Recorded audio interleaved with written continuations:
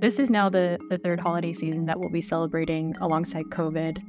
Um, but most people are a lot less cautious now than they were like three or even two years ago. So for this season, what are the current recommendations and sort of best practices? The best thing that folks can do ahead of Thanksgiving holidays is to get vaccinated, right? It's the proactive thing we can do.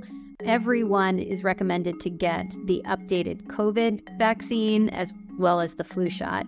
And if you are over 60, um, you, there is also an RSV vaccine. But then there are things we can do to make sure we're protecting ourselves. Wash hands, stay home when you're sick.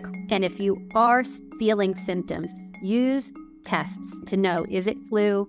Is it COVID? Is it something else? Because there can be treatment, and treatment could save your life. Then, when you're actually traveling and gathering, you want to do the common sense things that we've learned all along. Wearing a mask, masks do work and protect you from circulating um, viruses, opening windows and improve ventilations. Another thing you want to be thinking about is your own personal risk.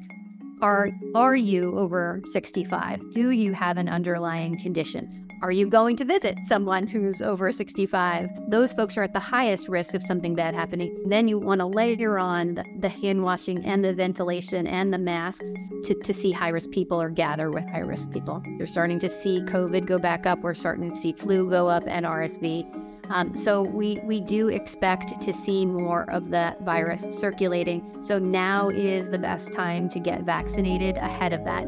How severe the season is is really in our hands. I think the more folks who get vaccinated, uh, the less severe this this season can be.